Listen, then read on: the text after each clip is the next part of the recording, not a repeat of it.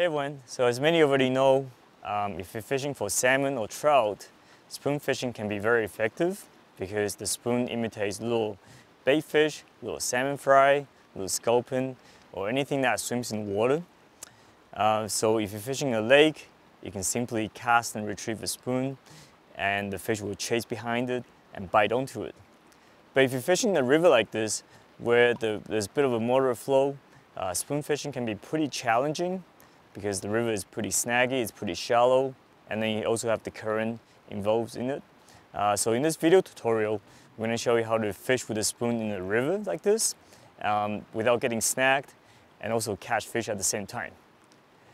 So like I say, fishing the run here, there's a bit of a flow, there's, there's some current to it. Um, the river is about two, three feet deep, maybe a little more.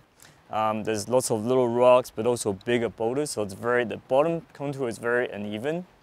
So if you cast a spoon out, if you come here, simply cast and retrieve, what's gonna happen is, if you retrieve too slowly, uh, the spoon's gonna sink down to the bottom, it's gonna be quite heavy, and you're gonna bump into rocks, and occasionally you're gonna get snagged, unfortunately. But if you retrieve too fast, um, the current's gonna push against the action of the spoon, and it's gonna bring that spoon up to the top of the water and that's gonna keep you away from the fish and then you won't be catching any fish. So you kind of have to find that fine balance and so casting retrieving spoon without any additional help can be quite challenging and it takes years of practice to get used to it. Uh, but the easier way to do this is to fish with a float. So float fishing is very common in rivers because you can present your, your whatever you're using um, under the water without worrying about getting snagged, as long as you have the depth right. So because we're fishing around, like I say, roughly between two and four feet deep, uh, that's how deep my float is, it's about three feet, four feet. And um, at the end of the fishing line, I have a spoon tied onto it. So this is a gypsy, uh, or the Gibbs gypsy spoon. It's not a casting spoon like a, Gib, uh, like a Gibbs Croc. Um, it's, a, it's a trolling spoon. So a trolling spoon is very, very thin, therefore it's very, very light. It weighs almost nothing. Um, this is mostly used for trolling in a lake for kokanee, for trout, um, under, on a downrigger or with some additional weight to it. Uh, because there's no weight to this, you need some weight to balance the float. So this is my weight right here. So this is about a foot and a half above the spoon. I have a sliding weight that sits on top of a swivel so that's going to be my weight to balance the float. Uh, so the amount of weight I use is enough to balance this float. I want my float to be submerged in the water with only the top part, the orange part, showing on top of the water. So this is your bite indicator. So when this orange part disappears in the water, goes on the water, that's when you know I have a fish on. That's when you set the hook and hopefully the fish stays on as well. Um, so presenting your, flow, uh, your spoon under the float is quite different to presenting your, uh, your bait under the float. Uh, so the, the way there's two, two or three different ways of fishing it. And I'm gonna go out there and demonstrate how to do that. I can see a few salmon rolling out there, the mostly, most likely pink salmon. So I'm getting pretty excited and uh, let's get out there and try to do it.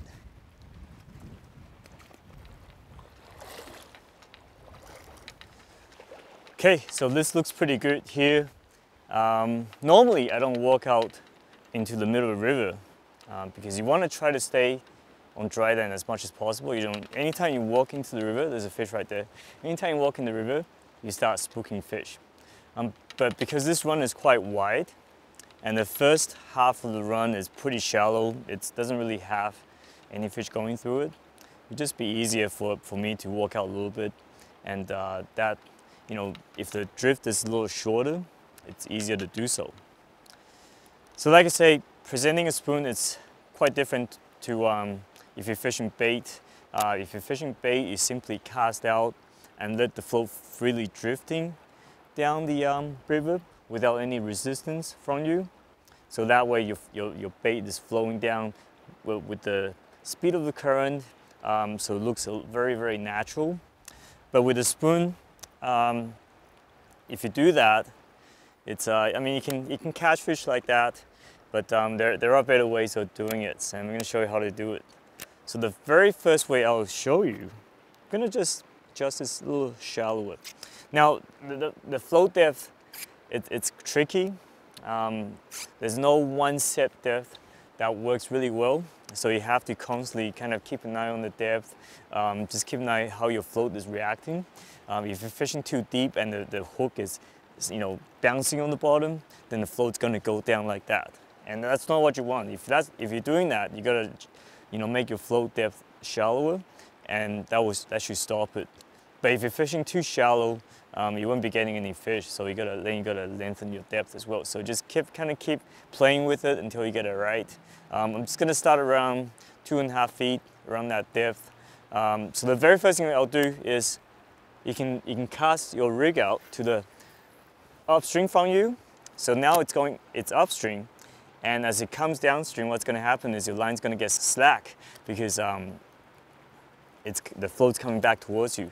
So when that happens, you just retrieve that slack as quickly as you can without disturbing the float. And what, what you're doing is you're letting that spoon flutter in the water freely, just kind of doing that in the water. And that can sometimes trigger bites like that. Works very well for coho, works very well for steelhead. Um, it looks like a um, looks like a salmon fry or any trout fry that's struggling, you know, like that. It's kind of half dead, just freely drifting down the river. So we're gonna do that a few times. So just slowly retrieve and pick up that slack. If you, if you retrieve too much, what's gonna happen is you're gonna pull the float back towards you and that's not what you want. Okay, so that's one way of doing it. The other way is if you cast in front of you or just above you, pick up any slack you have first. And as the float starts drifting down the river, um, you're gonna have to feed some line to it because because then otherwise the float will come right back to you. But instead of letting so much, lots of line out. Just keep letting, like that what I'm doing right now, just keep letting line out. That means the float is actually freely drifting down the river. You would do that for bait fishing, but for spoon fishing, what I like to do is to actually put a little bit of resistance to it. So we're using a bait caster right here. So if you put, a, put your thumb on it, just let us slow down that line feed, what's gonna happen is, I'll show you right here, what's gonna happen is you're gonna put a bit of resistance to the float without bringing the float back towards you. And because there's a bit of tension onto, on the line, what's gonna happen is the spoon, the, the, the little, my, my little light, oh, that was a bite. I was, I, I, was looking this way, I totally missed it. So what's gonna happen is my light casting spoon is gonna be uh, drifting further down uh, than, the, than, than the weight because you're putting some resist resistance to it. So that it's, it's almost like trolling. So it's gonna be doing that um, as it goes down. So that looks like a little fish swimming and kind of backing up. And if, if there are salmon in the stream, a lot of time what, what happens with trout is they'll, they'll swim in the water, they'll swim back and then go back behind the salmon and want to, they want to feed on the eggs. And that kind of really aggravates um, aggravates the salmon because nobody wants the eggs to be eaten, right? So let's do that again, see if we can trigger another bite. So we're just gonna put a bit of resistance to the line. So now that it's, the spoon is backing up, backing up,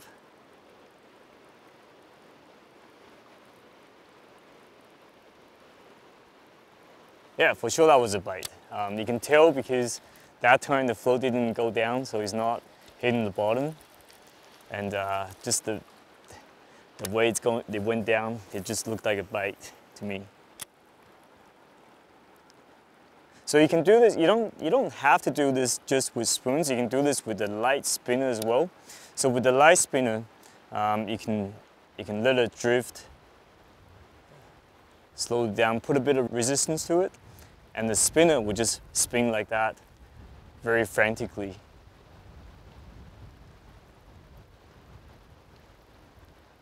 That's a lovely drift right there. So that's two ways of doing it. The third way is simply casting and retrieving, but very slowly though. So this time I'm gonna cast a little further out just to give me myself a little bit more distance to retrieve.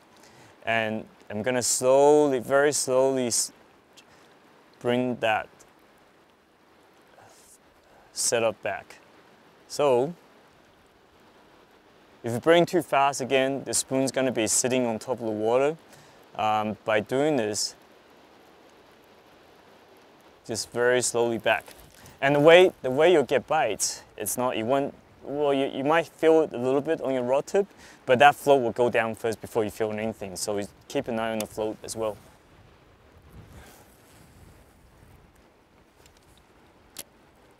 So let's do that a couple more times and I'm gonna try to catch a pink salmon and see if, see if they'll bite. It's a little sunny now, we're about 10 o'clock in the morning. Um, generally when it's sunny like this, of course they don't, they get a little shy. Um, but there's still a bit of shade on the other side. So maybe there, there, were, there are fish that, that will be willing to bite over there.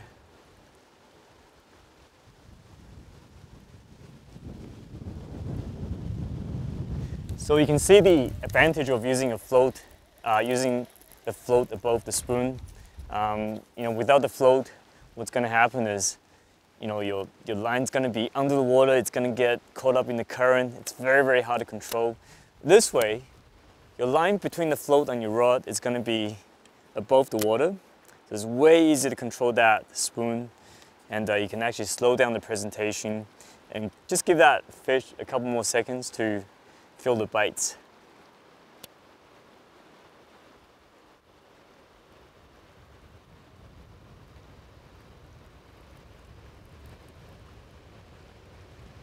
Okay, right at the end. So what I like to do is kind of press my thumb onto the bait caster right now and just let it sit there for a few seconds. And uh, you know, a lot of times, sometimes the fish can be following, especially coho actually, they'll, they'll follow the spoon back and they, don't, they won't touch it. So, but as, as soon as you stop the float from drifting down, that spoon's gonna stop swimming down. So the fish will keep going back, then they, they kind of get surprised, and then they'll, they'll go forward and attack it. So any little changes can surprise the fish and trigger bites. So just there's lots of different ways of playing around uh, with this technique. Well, besides that one bite I had earlier when I was talking, uh, which I missed, uh, that was the only one I had today. And that's fishing for you. Uh, sometimes it works really well, sometimes the fishes don't cooperate. And uh, if you want to get into spoon fishing rivers uh, and never tried it before, definitely give this technique a go. And if you have any other questions regarding this technique or any other fishing techniques, please feel free to ask them. You can do so by asking in this YouTube uh, video, uh, by leaving a comment, or you can do so on our Facebook page. And uh, make sure you subscribe to our YouTube channel and follow us on Facebook for updates. And uh, if you need more information on fishing in British Columbia, please go to our website at fishingwithrod.com and uh, on the website, there's a variety of articles on fishing techniques, fishing locations, updated fishing reports, and there's a big discussion forum for people to uh, participate in. So until next time, good luck fishing.